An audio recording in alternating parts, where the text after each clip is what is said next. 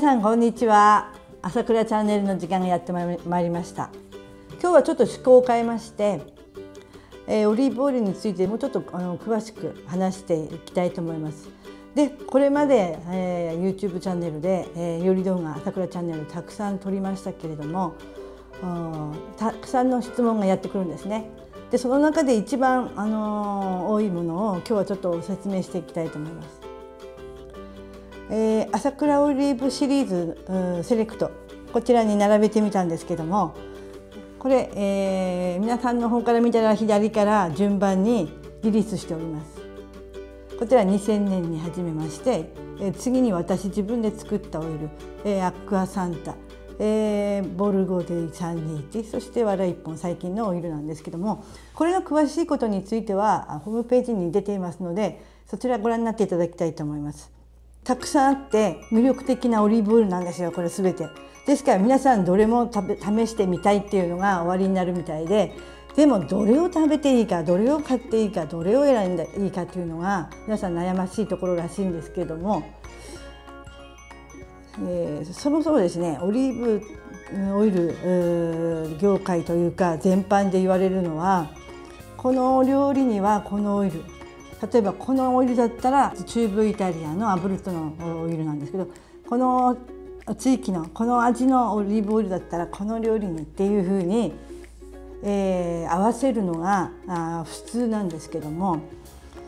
私考えますにオリーブオイルっていうのはままあもちろんそういう使い方もいいと思うんですけども朝倉セレクトのオリーブオイルの場合はですねめちゃめちゃ許容範囲が広いんですよ。それはどういうことかと言いますとどんなお料理にも合うんです。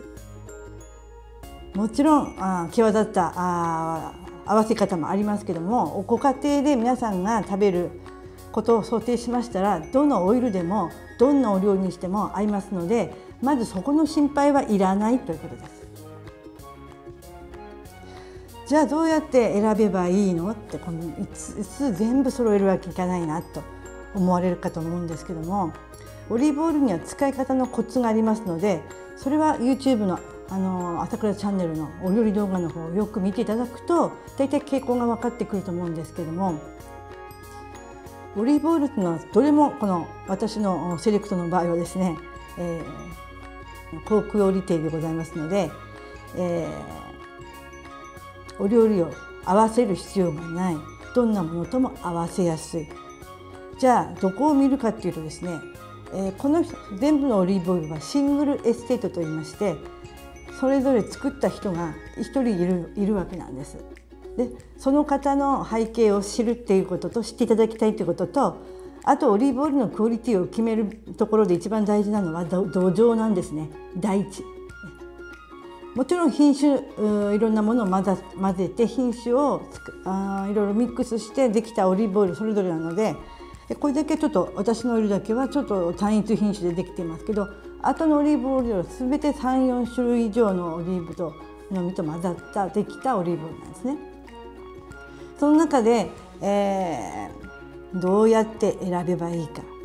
今申し上げました作っている人の背景そして大地土壌そこを私は非常に重視してます。で人っていうのはもちろんどのように栽培してどのように剪定してどのように土作りをしているかとかそういうものも全て含まれています。あのオリーブオイルと食品ですのでお料理して体に入れていくわけなんですけどそこを考えた上で非常に体のことも考えた時に健康な土壌でできたそして人作っている人たちの思い、えー、作り方それを丸ごと瓶にしたのがこのオリーブオイルなんです本当に貴重なものなんです。そういう意味ではどれも高クオリティさっきから言ってますけどもじゃあどうやって選ぶの？それはですねその日の気分なんです。お店屋さんに行って5つラインナップがもし並んでいた時にどれにしようかなって思った時にですねご自分が自分で感じるフィーリングで選んでいただいていいんですそれが一番あなたにふさわしいオリーブオリーブオイルを選ぶ一番のコツなんですじゃあ今日は私はですねえー、今一番最新のわら1本が、え、マイクルマイケル君が作ったオリーブオイルなんですけどこれが一番新しくリリースして6年ぐらい経つんですが今このオリーブオイルを一生懸命私頑張って彼の応援のために売っております。なんでだって美味しいんですもの。でこれを使いまして簡単な一皿を今日は作ってみたいと思います。はい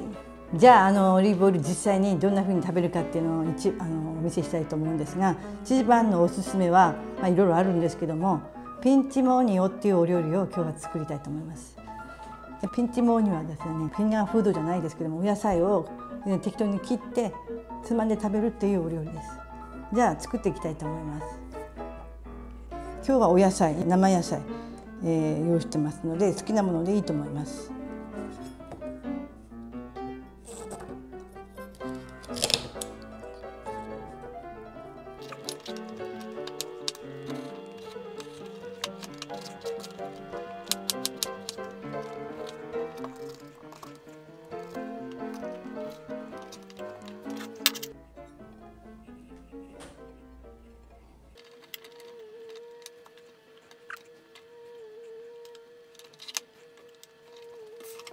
はい。こんな風にお野菜を切りましたよ。どんなでもいいと思います。食べやすいように切っていただいて。そしてですねオリーブオイルをどれにしようか。もしいくつか持っている方いらっしゃいましたら今日はこんな気分かなって言ってわら1本を取りそして、ね、オリーブオイルをたっぷり入れます。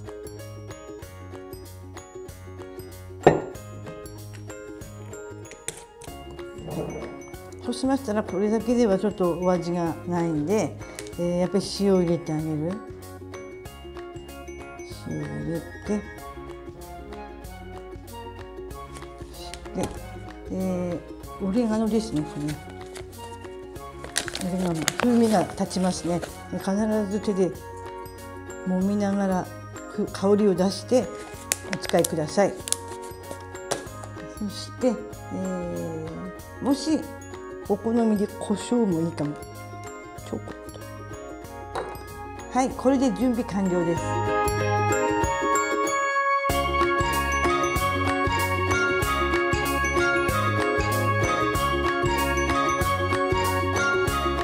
早速私食べてみたいと思います。塩分を混ぜてね。うん。おいしい。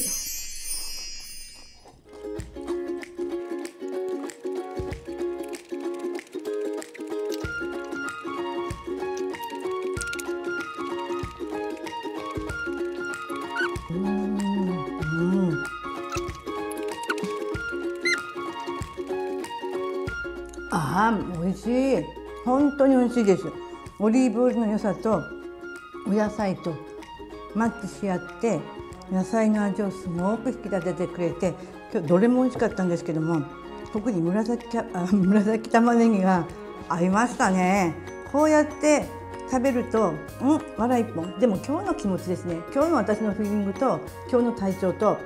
合わせてどれが美味しいかっていうのはその日によって変わるわけですよね。で最後でこれね私全部今食べれませんでしたけどこれ残りますよね。その時にパンがやっぱり役立つわけです。もしくはご飯でもいいと思いますここにですね。パンを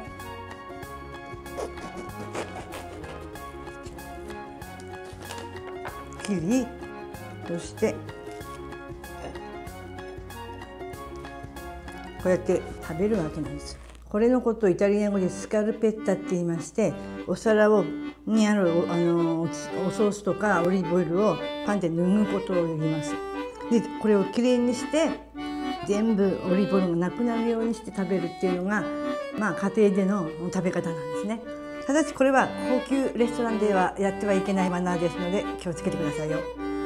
食べてみたいと思います。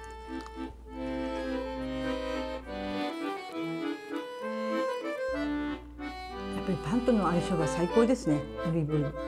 ここにバルサミコを入れたりもしくはお醤油を入れたりもしくはレモン塩を絞ったり